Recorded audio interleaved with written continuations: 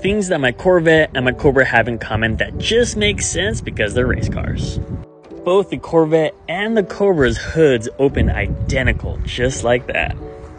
Both the Corvette and the Cobra are made of fiberglass. Super, super lightweight.